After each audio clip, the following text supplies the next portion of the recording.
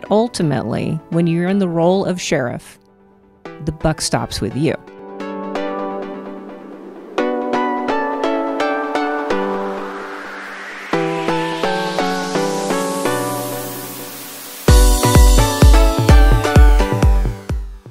Heidi, welcome to Meet the Voter, and this is sponsored by the RMC and their silver sponsors. So we want to thank the RMC, and I want to thank you for showing up. And I know you're running for office. This is more than your run for a sheriff's office, but we're going to talk to you today about some different elements. And first of all, we want to find out um, what your background is, where you grew up, and what did you do in law enforcement. Okay. Well, uh, I was born in Oakland, California, but I moved up here when I was 13 years old. Uh, my father's company, which actually built bar and wine equipment, so electronics, he was head of refrigeration for a company called Electronic Dispensers International. They relocated to Reno because of uh, the advantages of warehousing taxes. And that's kind of how I landed in Reno. I grew up in uh, the North Valleys and I went to high school at Procter R. Hug.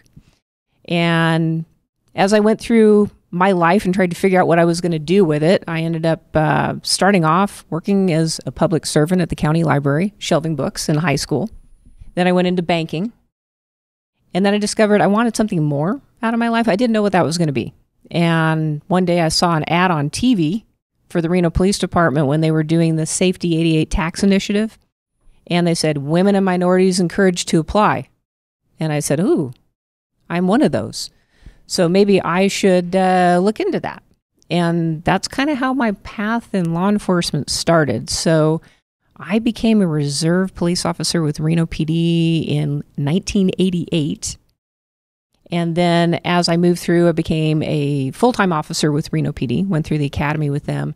And then it was difficult back then. There were very few women in law enforcement. And at Reno PD, out of 313, 13 were female. And I said, you know, I don't know if I really fit into this culture here at the time. And I started looking around, and the county was hiring at the time. I said, I wonder what that would be like. So I ended up uh, applying for the county, for the sheriff's office, and I became a deputy sheriff over there. And I loved it. There are a lot more women with the sheriff's office than there were with Reno or Sparks. There are also a lot more uh, opportunities in the sheriff's department, aren't there? It's uh, it's more diverse. Um, there's a lot of different things that you can do. Everything from you know working in the jail, working on the road, detectives. Uh, we have people in the crime lab. We have search and rescue functions. Right. We have the Service of Civil Process and subpoenas.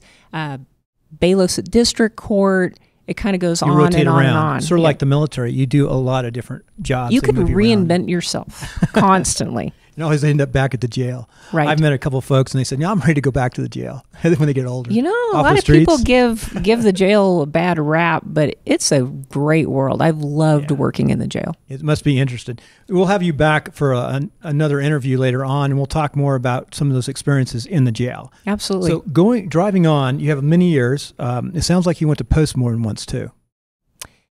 Yeah. Yeah. So.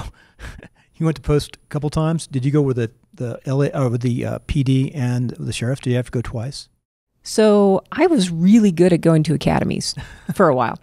Uh, I went through a reserve academy when I was brand new with, with that. And then I actually went through a second reserve academy because at the time you had the ability to potentially challenge the post exam for the state of Nevada and, and utilize that as a way to get your foot in the door for full time experience. So I had just finished my second reserve academy. And then I got hired full time by Reno PD. So then I went through another full academy. So that's reserve, three already. Was the reserve more difficult, or was the uh, PD more difficult than the reserve? It was just longer. Then? It was very similar. It's just longer. Yeah. And then after I left Reno PD and I went over to county, county had their own academy. Wow. So I had four within a very like a two year window, mm-hmm. two to three year window.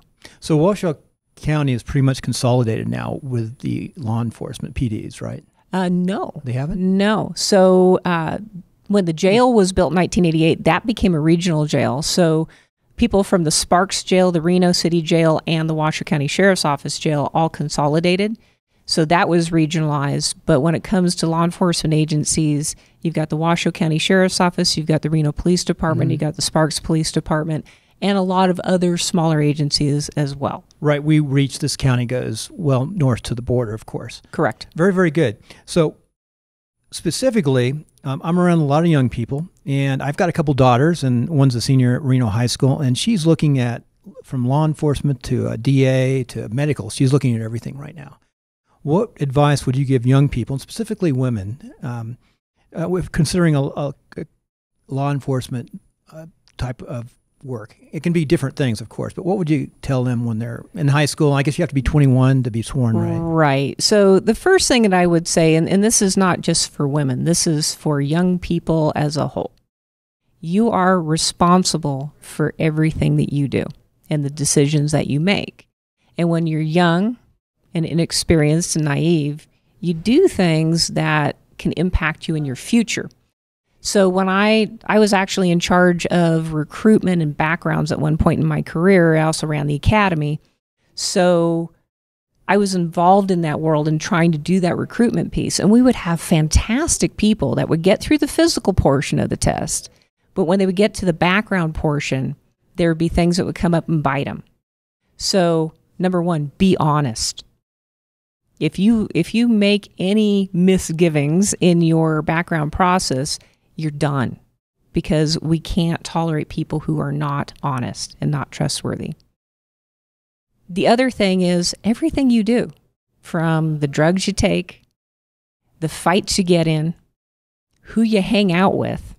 Because we have people that say, oh, yeah, I've got roommates in my house and they're committing felony crimes by using illegal drugs and substances, but I don't get in their business. Well, you don't get to live in a home with people committing felony crimes and then become a law enforcement officer.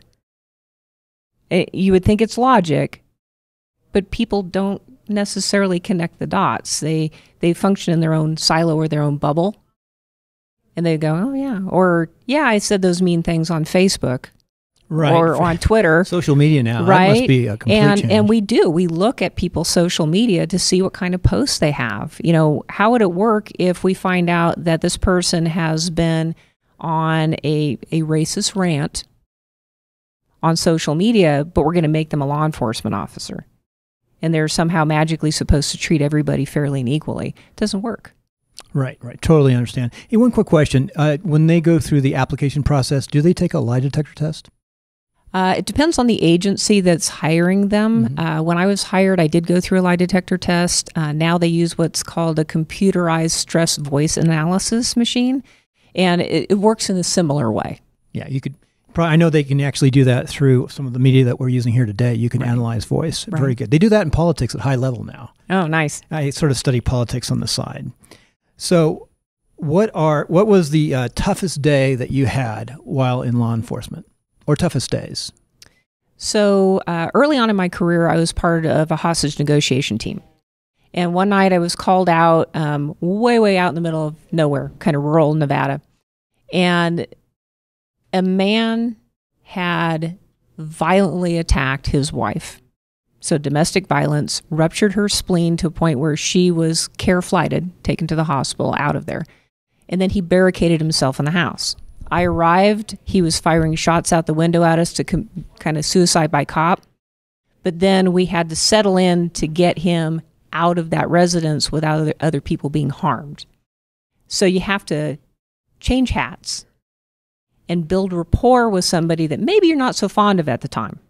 Uh, they've done horrible acts, violent acts, and you can't let your personal feelings and biases leak through in that conversation, or you're not going to be successful in what you're doing. So it was a very difficult day of trying to compartmentalize what you saw, deal with your adrenaline and your emotions, and still have a successful outcome. That's very good. So, I- and I can imagine, um, just like in the military, it's got to be tough at times in law enforcement. It's not cut for everybody because you do see some really rough things. And well, how do you put those things behind you? How do you forget about them? You know, you have to find ways, healthy ways uh, of dealing with that. Um, law enforcement, a lot of people don't talk about it, but folks that don't deal with it, there's a very high level of suicide in law enforcement. Yes. Um, there's a lot of substance abuse, particularly alcohol, in law enforcement. You know, that's your way of your The coping. legal drug. Yeah, the legal drug, your coping mechanism, and that doesn't work. It doesn't work. Um, I like the folks that really focus in on physical fitness. Mm-hmm. You know, finding a way to deal with that stress, and the bigger issue is relying on your family and friends. And a lot of law enforcement officers will have a tendency to gravitate toward people being their friends that are only in law enforcement. And I would highly recommend if you have the ability, keep your old friends. They'll keep you grounded. Very good. Very good. So, and finally, on the first part, I just want to ask you what what are your best days in law enforcement? Ah, so one of the best days I had, and it's just a really obscure one, uh, we had a day where the generator at the jail went out. So it's nighttime, it's dark, there's no lights there, no air conditioning, no nothing.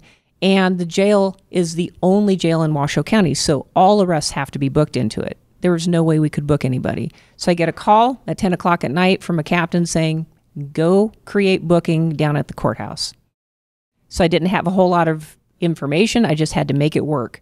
And it was reaching out to wonderful people and people who knew their jobs and they're great team and saying, I need you to bring this and this and this, getting a hold of the highway patrol at the time and having them bring their mobile breath unit downtown so we could continue to manage DUIs and arrests for DUIs, uh, arranging for people to make calls for bail bonds and finding a way to release them from that location. And it, it was just a very smooth operating machine. And we had a great time. And on top of that, we ordered pizza. Wow, there must. You know, when you think about there had to be two failures. Then the you had to lose electricity from your main feeds, and the backup had to fail. Correct. No one probably ever plans for that. I would guess. No, it was it was just not a good day for the folks that were up up at the jail at the time. And I mean, we had to put um, deputies on all the entrances. We had to have emergency lighting and, and flashlights everywhere, and we had deputies with shotguns to make sure that It's- that we could control the doors. It sounds like that could have been one of your worst days, but turned out to be a good day because Right. everything came. Well, we out. learned a lot. we learned that we needed to uh, test our generator system more often, and we also had to replace the ones that were there. The the warranties weren't cutting it. Very good. So with that, we're going to go to a quick break, and then we're going to come back to your life and success principles and finish up. All right. Heidi. Coming back from the break, we want to know what are your life and success principles. We were talking offline. And you talked about clear vision, extreme ownership, and honesty. So, what does clear vision mean to you? So, when you don't have a vision, you don't know where you're going, you're just treading water. And if you see it, it will happen. I, I, I truly believe in that. So, if you look down the road and you say, okay, these are these are achievements, these are the goals I want to have. If you see them, you can visualize them, you can get there. You also need to share it with your people. It can't be a secret and then wonder why you didn't get there. So it's talking with them, sharing with them what's going on, but not only that, engaging them in the process. You need to enable them. You need to give them the power and the time and and the resources to make that successful. Very good. Very good. Now, extreme ownership. What does that mean? So in law enforcement, you have good days and bad days. We already talked about that, right? All right. So when things go wrong, and they will go wrong in law enforcement, there's no doubt about it. It's all about how you handle it. And you can point fingers and you can say, not my fault, not it, didn't do it, whatever it happens to be. But ultimately, when you're in the role of sheriff, the buck stops with you. And even on the bad days, when you know it's not your fault, bad things happen. Stop, evaluate what's going on, and figure out if there's something you could have done better. And we're all human and we're all imperfect, and there's always something we can do better. So look at that, evaluate that, look at best practices from across the country. Most of the time, you don't have to reinvent the wheel and you figure out that there's some really good evidence based practices out there that you could implement or bring in subject matter experts. Know that you are not the expert at everything and bring the right people around the table and don't have an ego that is so big that you can't handle that. So, I'm going to ask a side question here. Is Sure. there any one practice you'd like to see changed uh, at the sheriff's department? Any specific thing you'd start working at? I would say, and I, and and probably a lot of people from the outside aren't going to get this because they're not from inside the organization, but it is truly giving everybody an equal opportunity and a shot to do what they want in the organization, and that means um, valuing everybody for what they bring to the table. Uh, looking back at people's past experiences that they bring from other jobs before they get to the sheriff's office because there's a there's a habit in law enforcement of you know you didn't exist until you got here. And we have people with some amazing skills that they bring to the table. Great education. And it tends to get kind of pushed aside or shoved under the rug. And we need to bring those skill sets out and embrace them and put them in the right positions Well, that sounds like the, the way you get people motivated is that's what you do. So I think people under, I think people understand that. Make the most of people, make it that they want to be there because they're contributing. right The best type of people work not just for pay, but and I'm sure that you there. dealt with in, in the military of different levels of how people are viewed if they're a civilian employee or they're commissioned employee. Well, law enforcement's no different. I worked in hybrids at the end. Uh, my last five years, half military, half civilian, sworn both sides, sworn civilian agents. Right. So we were, were interchangeable. So I sort of understand exactly what you're saying, and we had a lot of flexibility. Right. A lot of flexibility. And you need to have that. Yeah, very good. So uh, the other thing is, as we finish up here, I'm going to ask you: Are there any books? And you brought a couple books, which is nice, uh, that you would recommend uh, we read. I always like to find out books. So, what are your two books? You can hold them up. So uh, one of them is Creating Public Value by Mark Moore. Uh, he works over at the Kennedy School of Government uh, with Harvard. And I had the fortune of actually going back to Boston and going through a three three week uh, law enforcement leadership class, Senior Management Institute for Police. And Mark Moore was one of the instructors there. Okay. So uh, he talks about uh, working in the public sector and then how do you intersect with your communities and providing value to what you do Uh huh. in a world of politics where it can be very difficult. So that's kind of the more boring book, you know, but the one that I find really, really valuable is Now Discover Your Strengths. And that book goes into personality types. And there's 29 different kind of skill sets that people bring to the table. And we all have a tendency as human beings to lean toward about five of them. And you attack most of the things that come across you in life with those five skill sets. And instead of focusing your time on the things that you're not so good at, They said focus your efforts on what you're good at, utilize them to adapt and overcome to the things that you might have weaknesses with. And then once you recognize who you are, you are as a person, surround yourself with teams, coworkers, family, friends that bring the skills that maybe you don't have to make a big cohesive unit and be more successful. So knowing how I'm wired, uh, I know that according to this, that I am big on communication, that I'm an achiever. An achiever doesn't mean what you think it means. What it means is every day my day starts at zero, and I have a checklist of things I need to get done. So I'm constantly never happy with where I am. I'm always trying to, to do more. Another one is a developer. So I believe that everybody is a work in progress, that we all have room to grow, and I focus in on that. Another one is fairness. I think everybody is, you know, puts their pants on the same way. And I don't like it when the squeaky wheel gets the grease. That happens a lot in government. Yeah. we'll go into that. That's for a different so, story. So those are the things Yeah, that, that I. I think are very important. V- very good. I know I've heard of the book. Um, I, it's a very good book. I, think I've listened to parts of it too. So, in in closing, we're going to say, how can the listener get a hold of you? Uh, very simple. Uh, I have a website, so howeforsheriff.com. You can write me email, Heidi at howeforsheriff.com. And then also you can call me. There's a phone number connected to that, area code 775 813 8026. Very good. And I always tell people too, you're busy and you got a lot of calls. If it goes to voicemail, make sure you leave a voicemail because I'm sure you'll call back. Yes, leave a voicemail, leave a message, write me an email. I'll get back to you. And then finally, we've got one last question. Actually, I have two questions for you. So, Since you're in such great shape, this will lead into the second question. What do you do to stay in shape? Uh, I've always been a fan of lifting weights and good cardio. Uh, I believe in low impact cardio. Why? Because I'm getting older, and and my knees won't like it if I do something high impact. But a lot of elliptical. Oh, you do elliptical. Yeah. Do you still run?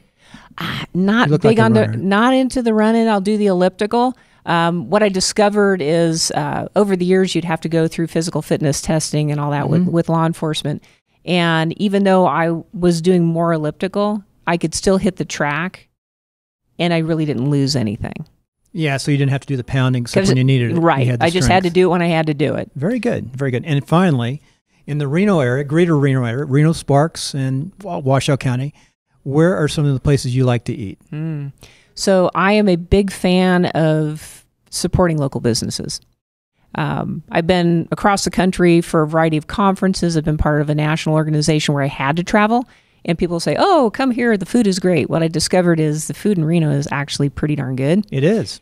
and I love going. Love going to Pegs for breakfast. Mm-hmm. Now my difficult part is figuring out which pegs to go to because I, I actually live out in the North Valley, so now there's one in North Valleys, and I also like going to Italian food over Mario's Portofino. The people there are fantastic. The food is good. It's a welcoming, kind of like home when you come in there. And coffee, I like going to Swill. Yeah, Swill's very nice. I like And Swill Peter, over- Pe- Peter has done a Uh, great Peter, job. Peter Krupp is great. great job. Great over there. really, it was a good place before. Now it's amazing. Yeah. So I love going over there. And let's see, what other places do I like? Um, but I've also gone to the hub. I've gone to the coffee bar. Mm-hmm. Oh, we have a lot of. Oh, Hub is Hub is wonderful. My daughter goes there a lot. Problem is, so crowded. You know, it weekends. is. It is.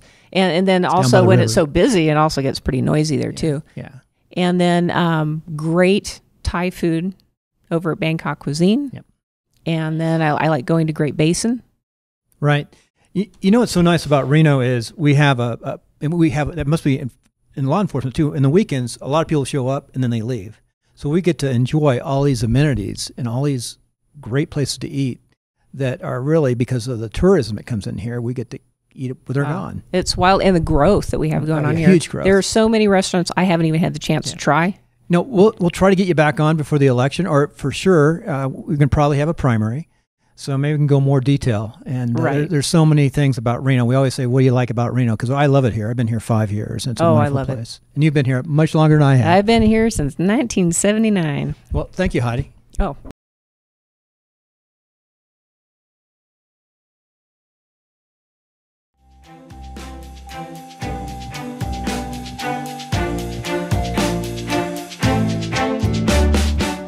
Hi, this is Bill, and thank you for watching. Go ahead and, if you're not signed in, sign into your Gmail. Go right up here and subscribe to RMC TV. And go over here, watch a couple more videos. Link to our website at republicanmensclub.org. And finally, make sure you go down and leave a comment. The comments really help. See you on the next video.